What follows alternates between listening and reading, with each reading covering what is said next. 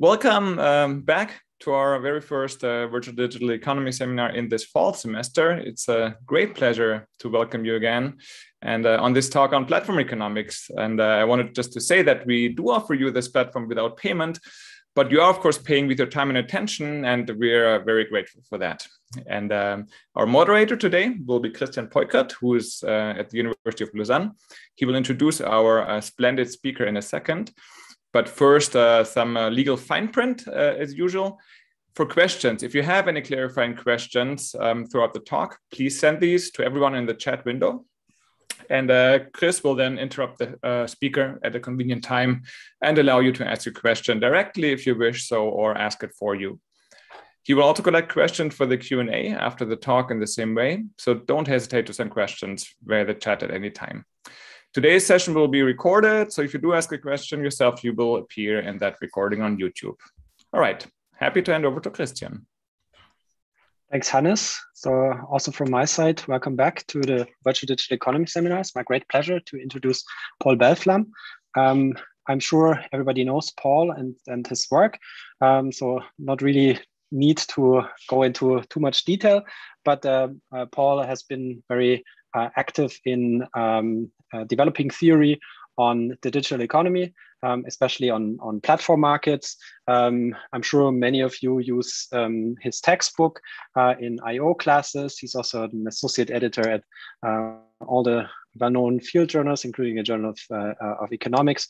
So um, we are very happy to, to have you here and hear about your latest uh, project. Um, why don't you take it from here, Paul? Thanks a lot, uh, Hannes and, and Christian. Thank you for having me. And I'm, I'm quite impressed actually by, by the lineup of the seminar. So all these famous colleagues coming after me. So I have the impression that my talk today is a kind of supporting act. Um, and especially in view of the paper that I'm going to present, uh, I must say it's a kind of exercise that Martin Peitz and myself did as part of the forthcoming book, which I'll talk a little bit about at the end of the talk. Um, so we decided after discussing quite a lot whether we should make a paper out of it or not. And some people told us that it would be worth doing it. So here we are with this paper, but it's by no means something path breaking. Um, well, of course, you'll tell me all feedback is, of course, most, mostly welcome. So the title is Network Goods, Price Discrimination and Two-Sided Platforms. As I said, it's co-authored with Martin Peitz. And in a, in a few minutes, let, let me first try to give you some kind of informal uh, presentation of what we're doing in the paper. And actually, we start with a very kind of philosophical, philosophical question, sorry, which is what makes a firm a platform? Now, you would probably answer like, uh, well, just look at the common definitions, right? And one of these definitions is the one by Evans and Schmalensee, they, they, they tell us that the platform is a business that operates a physical or virtual place to help two or more different groups find each other and interact. The different groups are called sides of the platform. Now, if you apply this definition, you would have in mind platforms like the ones here, which can be called two or multi-sided platforms. And basically what they manage are cross-group network effects. More participation in one group would make the platform more attractive for the other group.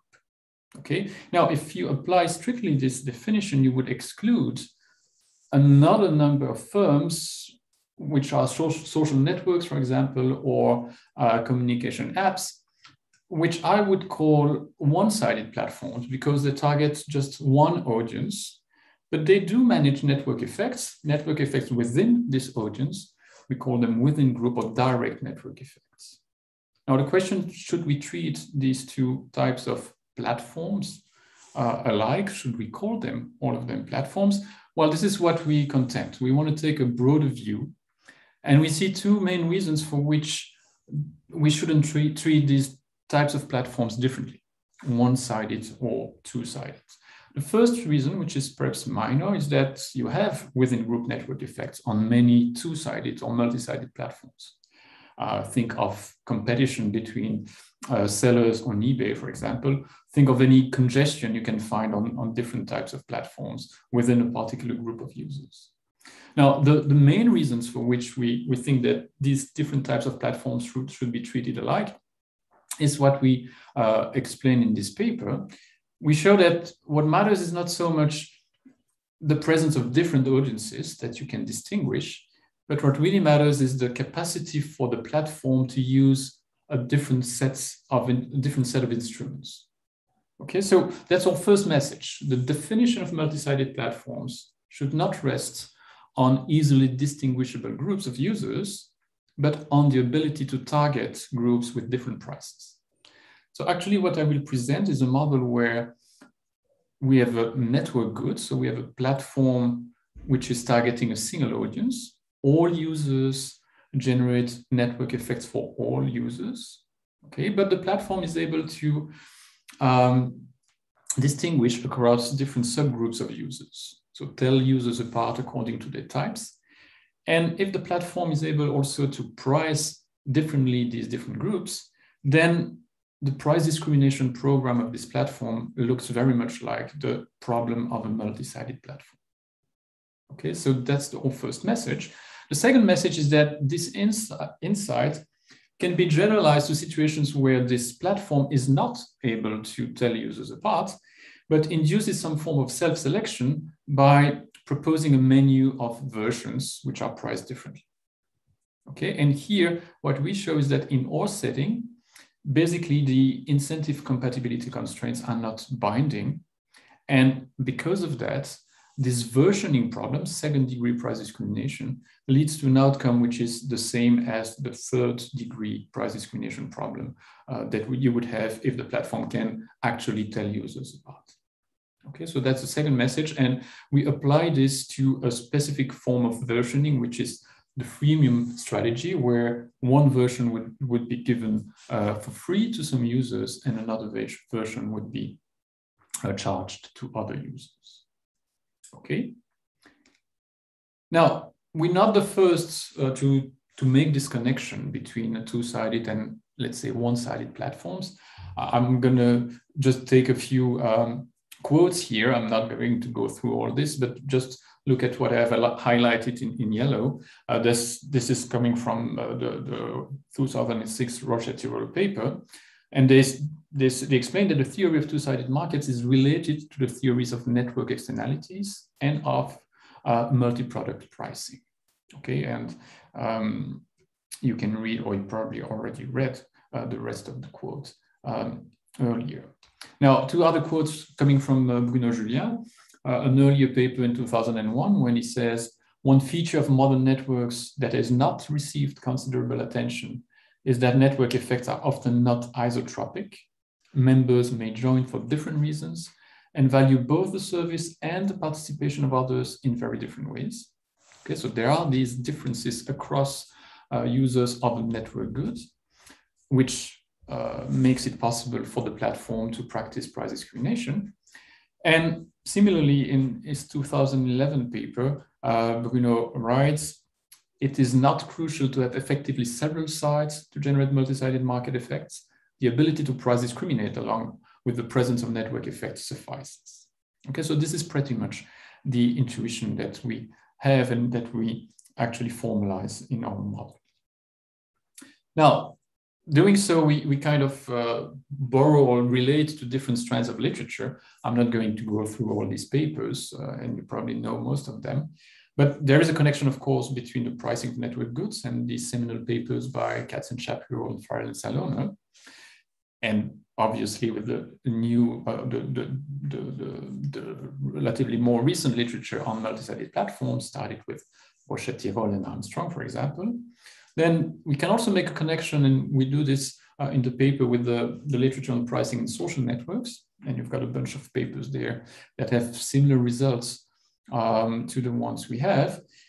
And obviously, we also make a connection between price discrimination and network effects. And uh, you've got there two papers that do the same. And especially when we talk about the freemium model, uh, what we present is similar to what has been presented, for example, by Takeyama when she was talking of pirated goods, and also by Sorba uh, having a, a, model of freemium.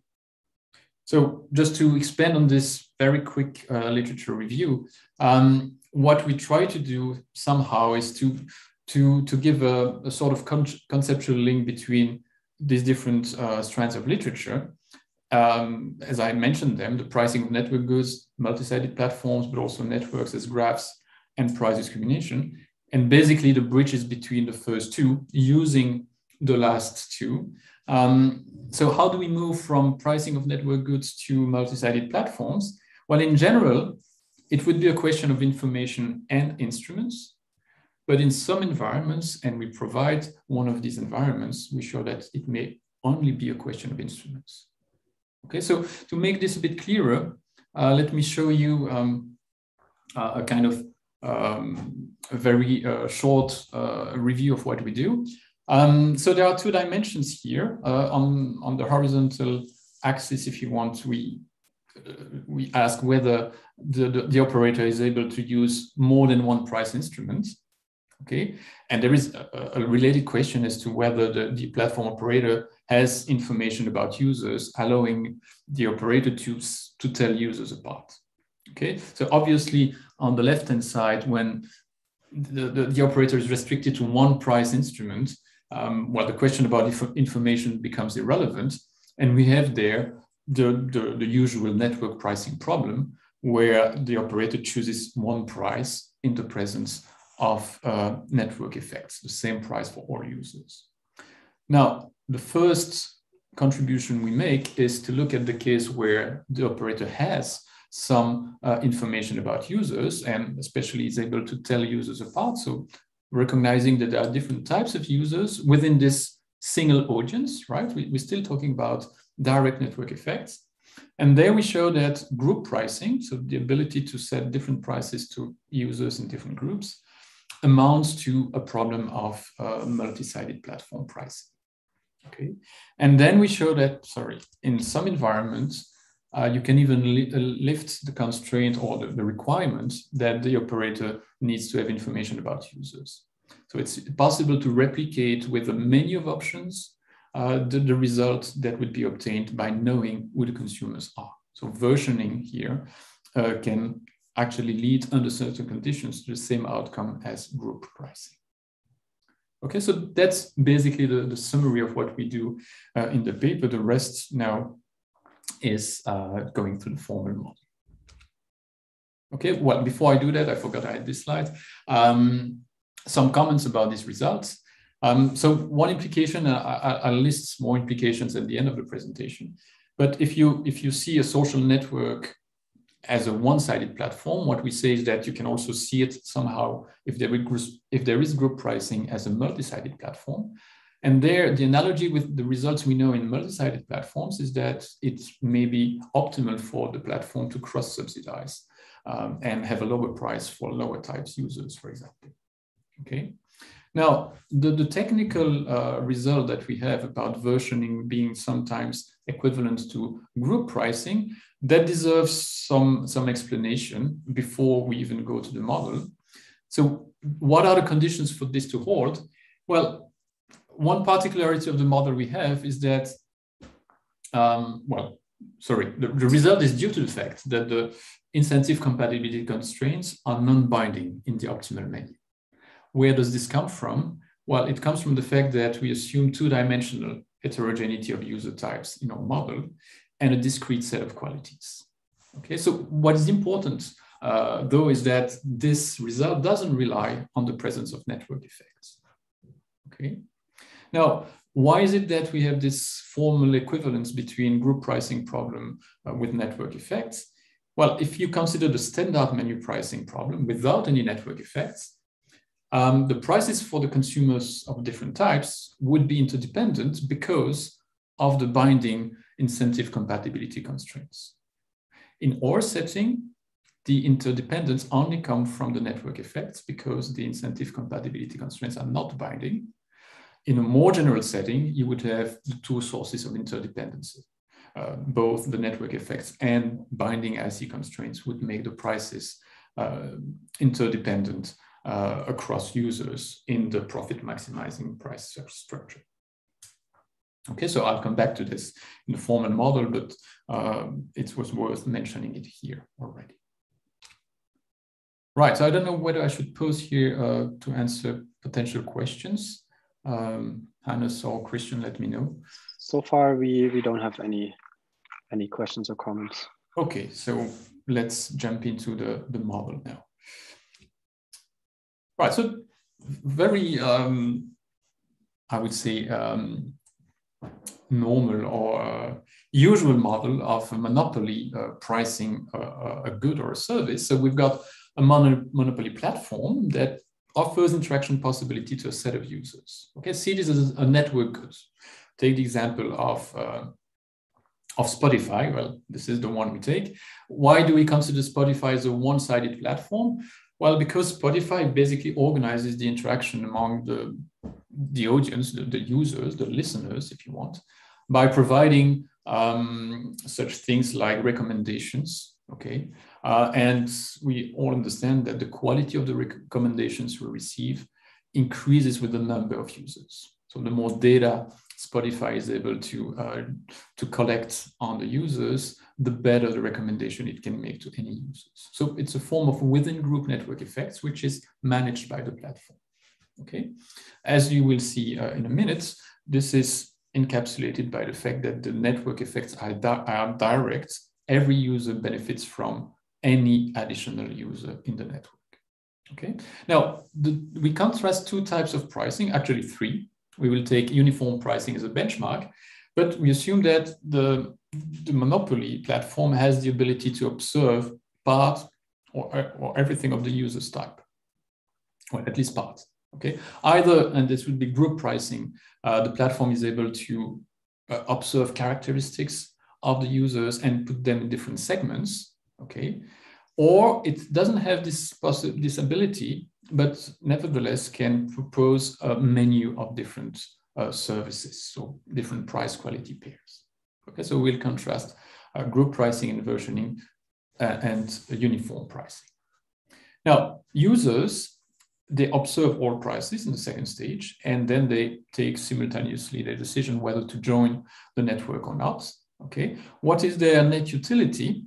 Um, so consider a user of some type I, some group I, right? And we assume uh, an arbitrary number of groups larger than two, which would be equally uh, represented. And so the, the net utility is given by these three elements. There is a standalone benefit, which may differ across types. There is a network benefit, which is a product of some strength or intensity of network benefits and the network size. Okay, so this network benefit can also be um, uh, depending on the group, on the type of the, the user. And as I said, this is within group network effect, so direct network effect, because capital N here is the total number of users, so the addition of the numbers of each group I. Okay, and potentially uh, the price PI will also be uh, depending on either the group to which the consumer belongs or uh, may be conditioned by the version that is targeted towards, towards this particular group. Okay, we've just, as I said, considered the benchmark where the price PI is the same for every uh, group. Okay, so how do users decide, make the decision? That's the second stage of the game. Well, we assume that they compare the net utility to some outside option, which we assume is uniformly distributed, and the distribution is independent on the distribution of the characteristic i. Okay, and we assume that an increase of the net utility of some amount equal to one would increase the number of users by a mass one. Okay, so this is to say basically, this is what we have here. Uh, the decision to participate is the net utility should be larger than the outside option. And there is exactly a number ni of such users which have an x lower than this. Okay, so that gives you implicitly, sorry, this should be a capital N here uh, and here as well. Um, but that gives you implicitly the, the demand function for users in group I. How do you solve this? Well, if you sum um, over all types, you've got this um, equation here. You understand my notation. So capital N is the sum of the Ni. Capital R is the sum of the Ri's, capital B is the sum of the beta i's, and capital P is the sum of the PI's over all i's, so over the capital I groups of users. Now you can solve for the total number of users, plug this back in here. And so you've got the demand function if you, if you want for participation in group I as a function of all the prices. And we want uh, the demand to decrease with all the prices. So we impose that the intensity of network effects should, uh, is not too large. And this is uh, how we translate this in the model here. Okay. Now, how do we proceed? Well, we can move to the first stage where the, the platform is choosing prices. And as a benchmark, we take the case of uniform pricing. I'm going to be quite quick here. I mean, uh, I've put a lot of expression, mathematical expression just to impress you, but this is rather simple to do. Just uh, note here that the same price is chosen for all users, and the firm is obviously cho choosing this price to maximize its profit. Here, there is no cost. I forgot to say that. So it's maximizing revenues, and revenue is P, the common price times the number of users. We, we, you're, you've understood that the decision is to join the platform or not. And this is a, an access fee P. So you just multiply the number of users by this access fee to get the total revenues. Okay, and doing this, you find easily this uniform price that maximizes profit. It's half the average standalone benefit. So R bar is R, capital R divided by I. Okay, you can compute the number of users in each group uh, at this optimum and also the profit that the firm is making. Okay, so forget about these numbers. What will uh, be important uh, later is to compare this profit to the profit that the firm can make in the group pricing. We know it's going to be larger, of course, in the group pricing. What is more interesting, perhaps, is to compare the prices that we will have in the group pricing to this benchmark. Okay, so let's turn to group pricing. Um, so now the platform knows who is who. Okay, some user is recognized to, to be in group I, for example, and so will be charged a particular price PI. Okay, so we've got a problem here of third degree price discrimination, um, which is rather simple, again, because we assume that costs are, are zero and are separable in a sense across groups.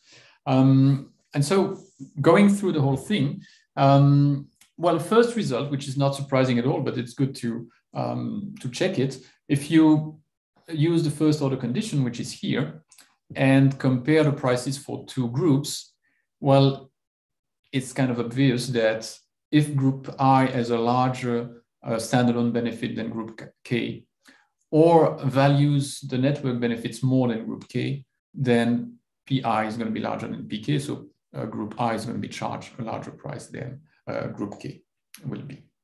Okay, so that gives you already the structure, some idea of the structure of prices. Now, what are these prices going to be? Um, well, here, just for the rest of the talk, I'm going to focus on one case, which is homogeneous network benefits. So here, all users across types enjoy the network benefits in the same way. Okay, so beta i would be equal to beta for all groups. Um, we can solve uh, the other case where the homogeneity would be in standalone benefits. Uh, we do so in the paper. Um, but let's concentrate on this one, which is uh, simpler to present. And I should say also that in the other case, the results are, are very, uh, very similar, uh, very quali qualitatively similar. Okay, so this is how what the first order condition would become. Then you again can solve uh, over all groups and you've got the, the, the value for the, the, the, sum of the prices, which you can plug back into the price for group I. And basically, this is what you find. Okay, you may be surprised that the, the strength of the network effects doesn't appear here. Well, um, everything is linear here. And so if, if you were solving the same type of price discrimination problem with linear demands and linear costs, you would also have this kind of, uh, of situation. So just remember that the price for group I and the group pricing would be just half of the standalone benefit enjoyed by this group. Here you have the, the number of users on the group pricing in group I, and here the profit.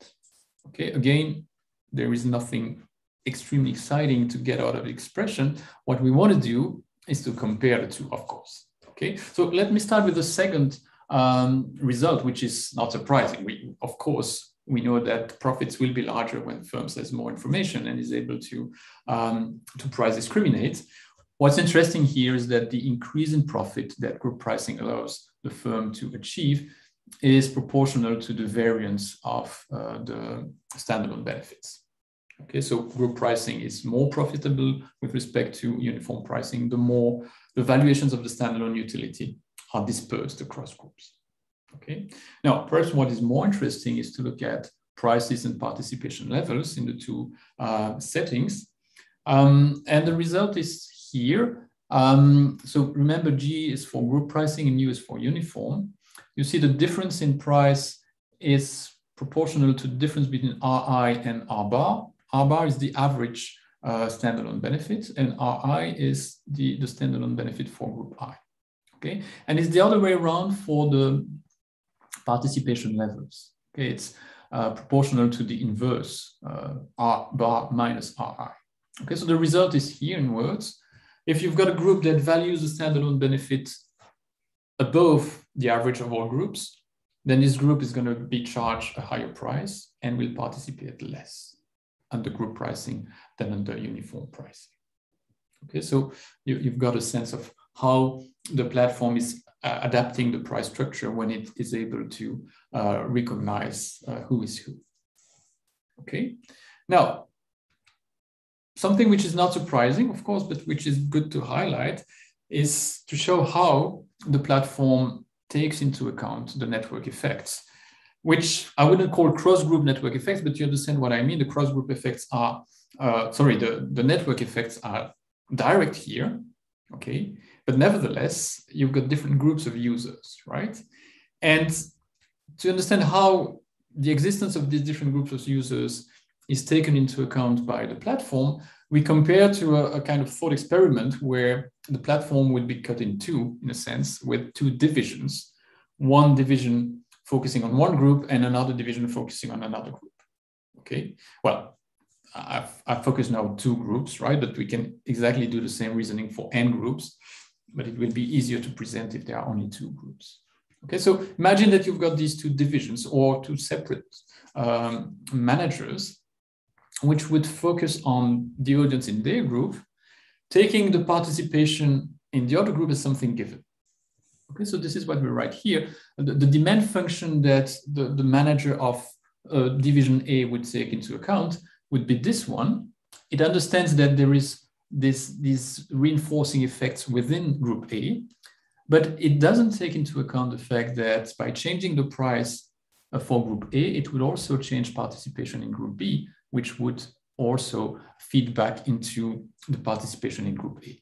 So this separate or isolated uh, um, uh, manager would take participation in group B as something fixed. Okay. Now, if you look at the profit maximization problem of this manager uh, and uh, use the first order condition to derive the optimal price, well, you get something which is larger than the price I showed you before. Remember, uh, the, the price in the group pricing would be just RA divided by two. And here we add something positive. Okay, so we check the intuition we had, and which is the same intuition in a multi-sided platform problem, that the monopolist internalizes the network effects by lowering the price on each group in order to foster more participation, which is beneficial uh, for all groups because it generates more participation, so more revenues for the platform. Okay, so again, nothing really uh, path-breaking here, but the, the, model allows us to, uh, to check all these intuitions. And again, I repeat the message is that it looks like a two-sided uh, or multi-sided platform uh, pricing problem. But remember that we have direct network effects. It's not just group A influencing group B and group B influencing group A. Every user is influencing every user in this uh, network um, one-sided platform. Right, so that was the first message. Now, the second one, uh, remember, is to say that the same intuition applies even in situations where the platform would not be able to tell users apart. Okay, so it doesn't have this information when uh, it, uh, when a user joins the platform, the platform doesn't know whether this user belongs to group I, group J, or group K, or whichever group. Okay, but nevertheless, we will show now that the platform would is able to achieve the same outcome as on the group pricing by proposing a menu of options. So by practicing versioning. Okay. Now I, I stick to the, the simpler example with two groups. And I build a, a situation where uh, my result would obtain. Okay, and so imagine that now there is also a basic version of the product, which is valued the same by both groups at R. Okay, and group A, you can think of this group as the high-end consumers. They would put some extra value delta on having a premium version. Okay, but this premium version doesn't bring any additional value to group B. Okay, now if self-selection takes place in a correct way, group A would buy the premium version and group B would buy the basic version, generate participations at the level of NA and NB. And so the problem would look exactly like the one we considered for group pricing. Okay, so here is the, the, the, net utility for group A members, the net utility for group B members. Okay, if you substitute R plus delta for RA and R for IB, RB, well, you've got the same problem as before.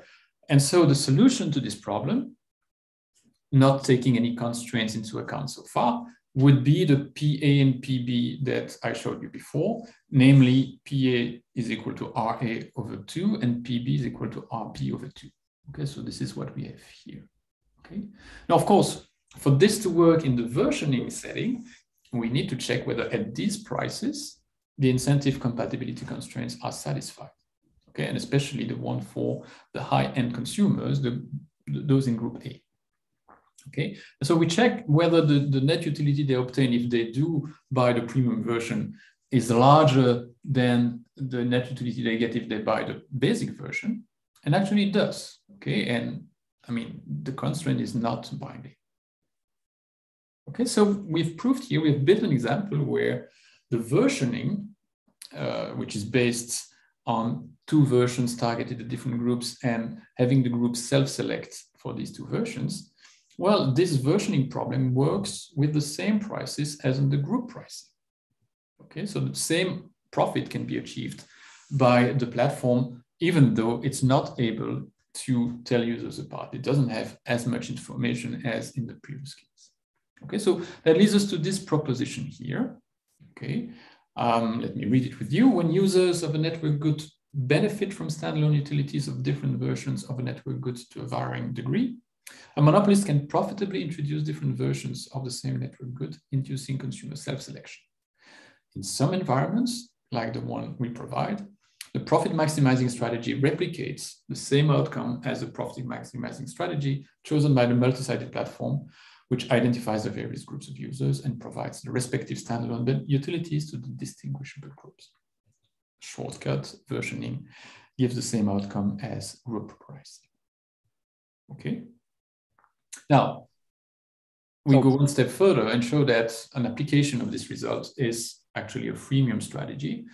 We just need to set R is equal to zero, meaning that group B would obtain uh, the goods or can join the platform for free. Okay, if you redo the math with R is equal to zero, here are the, the, the equilibrium or the, the, up, the profit maximizing, uh, so prof, where am I?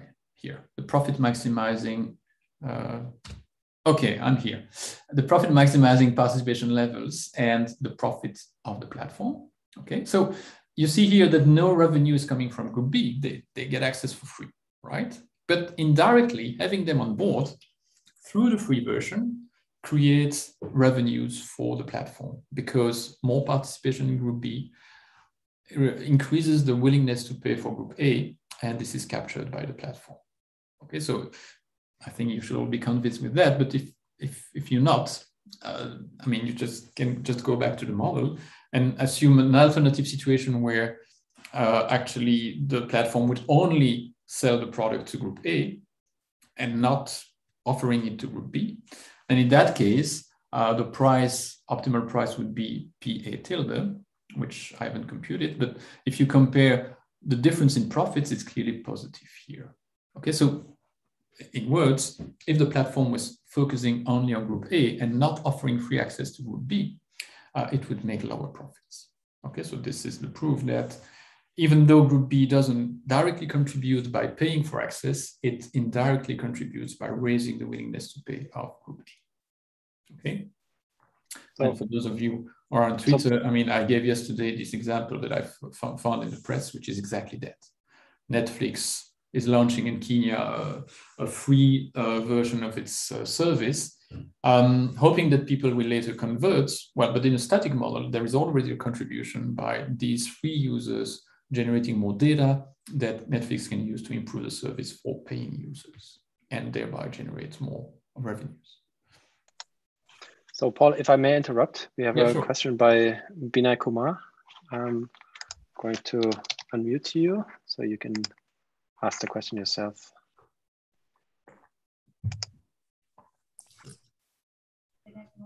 Yeah, hey, hello, I have a question rather too. So first, suppose there are say 10 groups of customer, then how one group become aware about what price is being paid by another group? And second, yeah. And second question is based on what characteristic of customers uh, the focal firm put in different groups. So is there any overriding characteristic? I'm not sure to get your second question, but as for the first, this is a, very good point. I mean, we implicitly assume here that all users can observe, observe all prices. Yeah. As is usually done in any price discrimination problem. And it's also done uh, on, on multi-sided platforms. Now, this is a good point because, well, Martin and I have another paper on the observability of prices on multi-sided platforms. And I think there, this is quite a big assumption to assume that users can actually observe prices for the other group, especially on platforms where the two groups of users are very different types of users. So if you think of video game consoles, on the one hand, you've got users like you and me, gamers. On the other side, you've got game developers. And it's yeah. not clear at all whether us as users have a sense of what game developers pay or are paid by the platforms. So mm-hmm. when users are of very different types, I would say this question of observability of prices is really a key assumption. Now, in the, the model we have here, on the situations we describe here, we still think of the same audience, so all participants to Facebook, for example, or all uh, people using um, Spotify. And there, I think it's reasonable to assume that you know what type of prices are practiced by, by uh, Spotify. I mean, you can have a list, uh, look at the, the website of Spotify, and you will have the list of prices for different options. Okay, in the versioning strategy, you, you know which price uh, are linked to different versions, and you make your choice based on that. Okay, so I guess in, in our case, the, the, the assumption of all prices being observable is perhaps uh, less of a problem that it would be in, in multi-sided contexts. Now, um, if, you, if you can repeat your second question, because I, I, I frankly, I didn't get it. Yeah, actually, uh, thank you for answering this first question. And second question is, uh, as a user, so there are different types of subscribers on any any platform. So on which particular characteristic uh, this platform segregate them in the different groups? That was my interest. Yeah, good point. I mean, again, this is a kind of general question for any price discrimination uh, problem, and especially when you talk about versioning. Um, the, first, there is, I mean, managers or people in management science would be uh, more at ease to talk about that.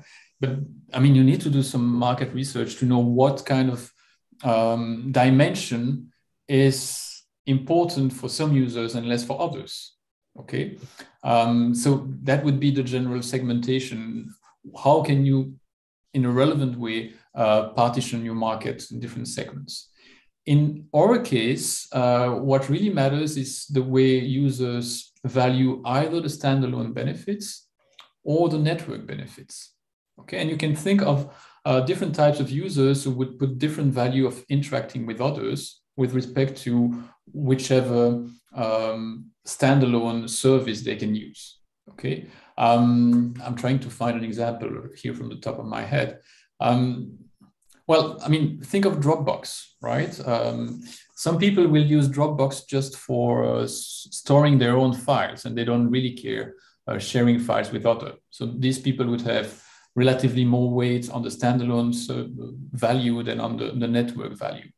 But for other people, it's just the opposite. They, they may have, I mean, sufficient uh, storage space on their computer or another service, for example, for the university, and they would just use Dropbox to share with others. So for them, um, the, the, value on the network benefit would be much uh, more important than the value of the standalone uh, benefit, if you see what I mean. Yeah, thank you so much. It's very clear now. Thank You're you. You're welcome. Other questions, Christian, now? Uh, at the moment, not. Okay, good. Go ahead. So let, let me move on. Um, I'm reaching the end, basically. Um, told you that this is a supporting act. It's, it's usually shorter than the, the main act. So what, what are potential implications of, of these results? Well, we've presented it in, in the usual way, uh, talking about a firm choosing prices. Well, if you think about social networks, um, and especially of this, this freemium strategy, we know that not everything is free, or sometimes you pay with your data or uh, by some, some form of invasion of, of your privacy.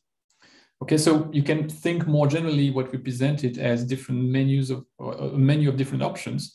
These options differing not so much by the price, but maybe differing in terms of how much your privacy is protected, okay, or how much data you are induced to, to leave to the platform. Okay, now what is important if you think of this uh, alternative interpretation is that any form of intervention by regulators saying, for example, that uh, privacy of users should be um, protected, which may make a free version no longer free. Um, what we need to keep in mind is that that will have an implication on the whole structure of prices or the whole design of the menu of, of versions that the platform is going to is going to choose. So not just the, the, the, users that were consuming the so-called free version would be affected, but other users as well. Okay, and as we show, as we have just shown, is through the network effects and not so much through the incentive compatibility constraints that this kind of interdependence will, will play. Now, another uh, other regulatory implications, um, which are direct consequences of what we shown, what we have showed, sorry, uh, is that platform may lack consumer data, so may not be able to um, to set users apart, right? And so would would have to resort to versioning. And as you know, one way to create versioning is to start with a an original version of the product and propose another version by downgrading it. Okay, so you would propose a, a damaged goods strategy, as it is called. Okay, um, now, if, yeah, so that may have impacts not only on the on those who consume the premium, uh, sorry, the, the basic version of the damaged good, but also those who consume the premium version. So again, that is, I'm repeating the same stuff, right? So any regulation that would make this not possible would prevent the platform from offering these damaged goods would hurt all the users because an extra source of network effects may be may be cut. Okay, and the same thing goes for the, the second bullet point here. If the regulation would impede any form of discrimination among users, so would prevent the firm from uh, applying any form of price discrimination, then again, I mean, it may have a direct negative effect by uh, reducing the market. Some, some consumers would drop out, but doing so, they would also reduce the total network effects and so the, the well-being of those users that remain on the platform. Okay. Now, of course, this kind of reasoning depends on the relationship between or the ranking between the private and the social benefits from data. Okay, so we need to be careful not to generalize this uh, too, too quickly. Finally, if, if we have to derive some implications for managers, um, well, I mean, the example of, of uh, that I gave of uh, Netflix uh, offering this free service in Kenya, usually that would be presented as uh, a kind of dynamic strategy. So you you would give a free version as a way to um, increase the willingness to pay of users in face of an experience good. So people would try it for free, realize that they like it and later pay for it. Okay.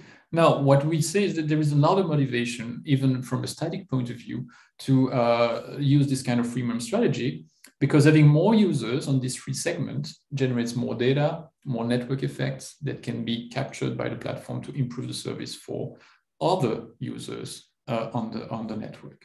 Okay, so it's not just converting users and exploiting the fact that at some point they will pay, it's also exploiting the fact that these free users may make existing users pay more or being more satisfied. Okay. Now, one other way to read our results is to say that if you want to um, tell, well, advise a platform how to grow and how to scale their operations, well, usually the, the, the advice which is given is that why don't you take another group of users on board? Okay, so by that would allow more interaction on the platforms, create more network effects, create a larger portfolio of services, and so on and so forth.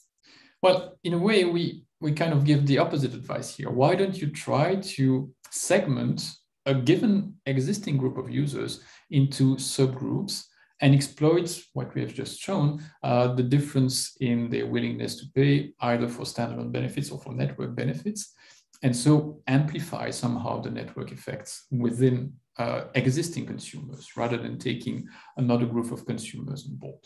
Okay, so this could be done by having a special treatment for influential users, for example, or users that derive a particularly high value from the service. Okay, but then came back, we came back to the question I received previously, how do you identify this? Well, this is uh, another answer. You, you, need to find this dimension uh, that is relevant to segment users within a particular group. Okay. And finally, well, this is the main message uh, we could give from a managerial point of view. Uh, it's not because you target a single audience that you shouldn't take, uh, take into account these dynamics or these uh, effects which are present on a multi-sided platform. Okay, so, and especially if the structure of the, the, the social network matters, um, not only it's important to uh, for example, uh, recognize that some users may have more connection than others and may be more influential. But also that was a second message. You don't need to have a precise knowledge of who these users are because somehow you can replicate what you would achieve through group pricing with a, a, well-chosen set of options under version. Okay. And I think that's it. And that's my moment where I do some form of uh, advertising. So maybe you know, but uh, we have a first book coming soon with uh, with Martin uh, called The Economics of Platform: Concepts and Strategy. The second book, I mean, we're working on it, would be about regulation and competition. But hopefully, this one will be available very soon, uh, perhaps earlier in, under the ebook format than under the um, the, the print format. And just uh, to apply what we say here, we have a freemium strategy as well. The slides will be available for free. The book not. I mean, Cambridge University Press would not allow that. They have costs to cover, but the price is uh, going to remain uh, as low as possible. So that was my uh, self-promotion. Thank you for your, your attention. Thanks so much, Paul. Um, uh, yet another very nice book that I'm definitely going to put in my in my shelf. And um, I already tweeted about this. I really appreciate that you always make the teaching material available on your website. that's super helpful. Um, we have a, a, couple of questions. Um, let's start with Hannes Ullrich. Um, Hannes, do you want to go ahead? Uh, I thought it was second, but that's fine. Uh, thanks a lot, Paul, for the uh, great talk. So, so I, have kept thinking. Um, so Joshua Gans he presented a paper in this seminar on zero pricing by a monopolist, and and and I found there's some similarities. So I think in his model, uh, uh, so con there's consumer-specific cost, and they're uh, heterogeneous, and they might be below zero.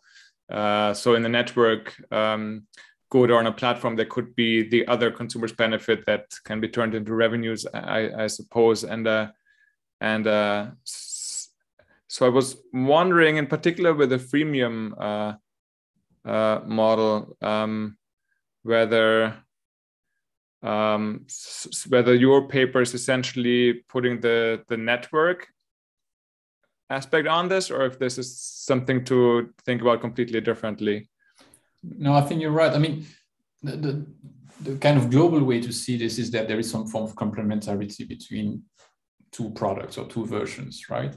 Um, and you use one as a loss leader, as they would say uh, in marketing, I guess. Um, so you lower the price on one to increase the demand on the other and collect revenues there and hopefully recoup what you've lost or not gained on the loss leader. Now, um, I mean, there is no reason why the price should stay above marginal costs, right? It could go below. And we've got exactly the same uh, type of, uh, of intuition in two-sided markets where you often have one group which is subsidized and the other one, the money group, which would pay a, a positive fee. So the complementarity here comes from the network effects. Okay, in a multi-sided market, two-sided market, the, the, the network effects are limited across the groups. Okay, um, now here you've got um, direct network effects among a single audience. But as we shown, if you can segment this audience into several groups and exploit the, the differences among them, uh, you can basically have exactly the same, uh, the same intuition. Okay, but behind this, you've got this idea that by lowering the price on one side, you increase participation, which uh, would increase the willingness to pay of other users and if you have the ability to have a separate price for these users, you can actually uh, recoup the kind of in investment you've made by lowering the price on the first group. Yeah. Thanks. And in a sense, the damage goods strategy is, um, I mean, even if the price is zero of this damage good, if it costs you more to produce it, um, it's as if you had a price. Uh, I mean, you may, what I'm saying is that you may even have negative or make losses uh, on one group, uh, which may be optimal if you can recoup sufficiently these losses with the revenues on the other group. Thanks. Um, next up is Ido Eisdorfer. Ido, I unmute you. Uh, uh, thank you very much. Uh, but I enjoyed the lecture a lot, Paul, so it was fascinating. I just wanted to ask you, uh, do you hear me? Yep. Ah, okay. Uh, isn't it Spotify has two actually two main groups? One are the musician who creates music, while the other with the listeners. I understood from the model that you are focusing on the listeners. That's therefore I can understand the intuition for the entire model, but the musicians who create music has other incentives in Spotify. So I think that Spotify is from the audience side is it's one um, one-sided platform, but from the musician side it's something else. So Spotify itself, I'm not sure that it's like Facebook, which is a one-sided platform. Yeah, you're right. I mean, Facebook is a well. You can also discuss about Facebook and say that advertisers would be the other side, but they are clearly there to monetize the platform, and there are negative cross-site network effects. Mm-hmm. But coming back to Spotify, I mean, I mean that's a kind of debate we have uh, uh, in the profession, I would say. But it's I think for me it's hard to argue that musicians are uh, the other side in the sense that they would really decide to join or not the platform uh, and benefit from cross-group network effects from the audience.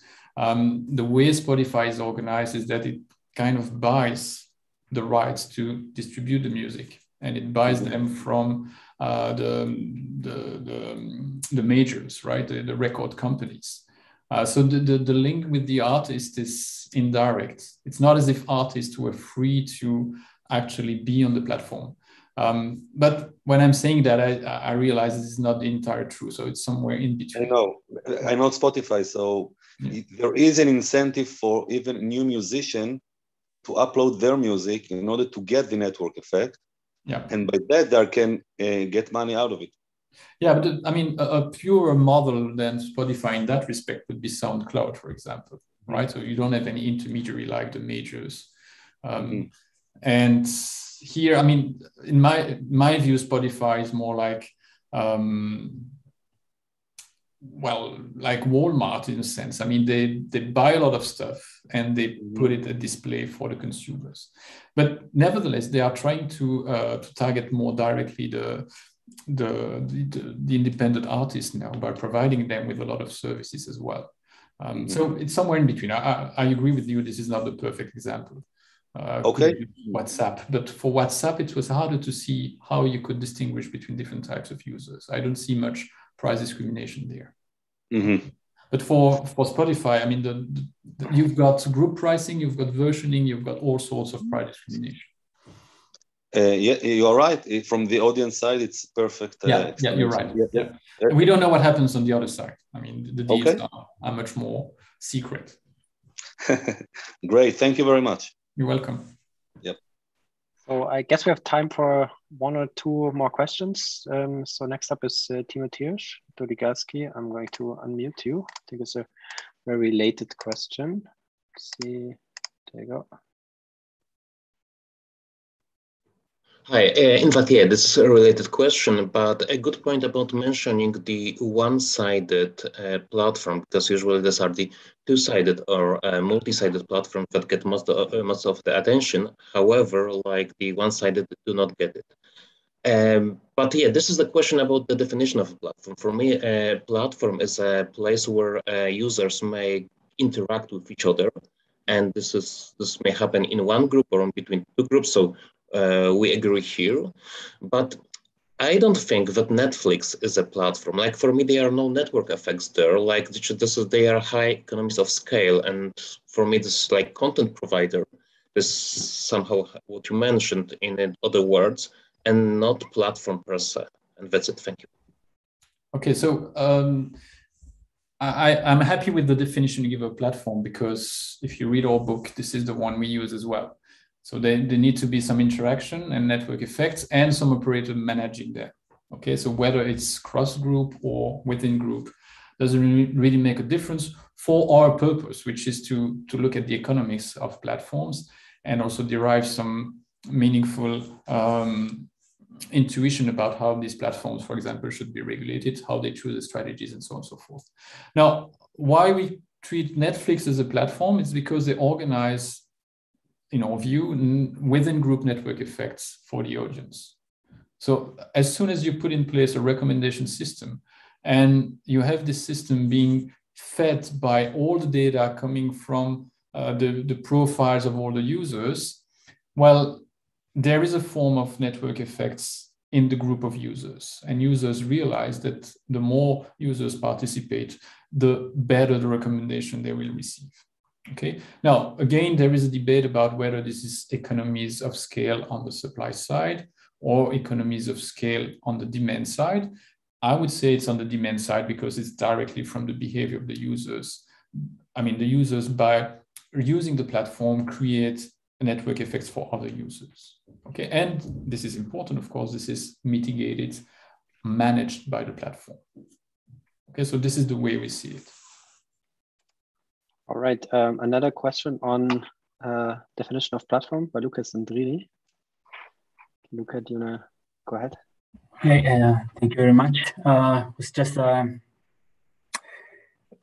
it seems to me that often the, the the platforms, and I take the the and I use the, the Spotify example, offer like this freemium business model scheme, and when consumers join the free version of the platform, they are not kind of only mm, they, they, do not only use the damaged version of the service, but they are also they are also exposed to often to to what ads and advertisements in general. So it seems like the the platforms favors the one-sidedness of the business model when in, in the premium version, while they open the, the, the platform to a two-sidedness in the free version. I would like to know what do you think about it, and if this is the case, how these things can enter in the analysis.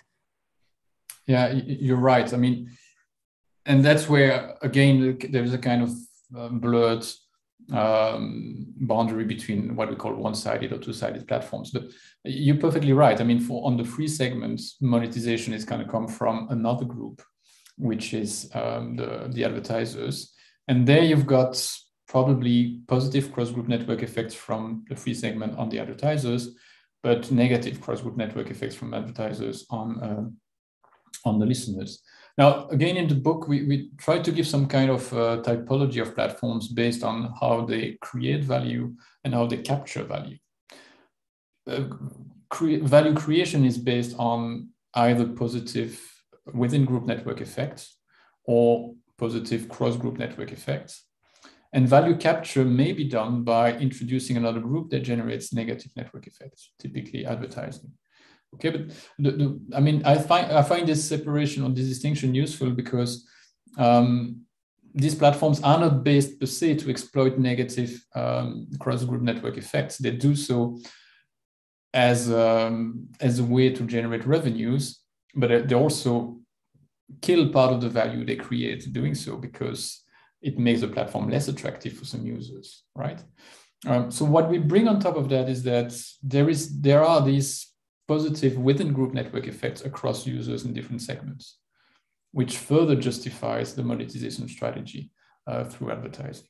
So this is the, the, additional link we make. Now, if I may add one thing about platform definition, uh, first of all, I mean, we define something for a particular purpose, and we have ours, which is to analyze the strategies of platforms, understand what kind of impacts they have on markets. Clearly, lawyers, for example, would have a different definition. They need to have clear cut boxes in which they can put different firms. So we're not pretending that this is the, I mean, the general and true definition of platforms. I mean, there is nothing like that. Another reason why we, we kind of put one-sided and two-sided platforms or multi-sided platform within the same realm, I would say, is that we are interested in the very decision that platforms make to be one-sided or two-sided like we just discussed, is it really worthwhile monetizing the platform by adding a group of advertisers, right? So for us economists, we understand this is an endogenous decision. And if we were defining things too strictly, we would prevent ourselves from analyzing this very important decision. So that's another reason why we tend to have a kind of broad definition of platforms. But again, if you want to read more, you've got a book coming where we explain all that and you can disagree, of course. Uh, awesome. So, and we are already over time, but uh, um, we have another another um, uh, interesting question. So, um, if everybody agrees, then I'll unmute Aileen to to ask the question, and then um, we can take it from here. Aileen Nielsen. Thank you for the talk. Um, two empirically motivated questions. So, first, I wonder is it important to the equivalence result um, that users be able to self sort at roughly the same accuracy at which they can be classified by the platform? Because there seems to be this assumption that much of the value is going to come from some kind of behavioral targeting. And then, um, regardless of the answer to that, empirically, to you, what is what are the interesting assumptions to test? um, to kick the tires of this argument generally? Well, a quick answer to the second question. We haven't thought about that. But I, I think what would be interesting is really to try and find different profiles of users within this single group. Uh, so why, how would it be interesting to segment users in order to benefit from these uh, effects that we, we mentioned in the paper? Um, but certainly, is a good question, and we need to put more thoughts in that.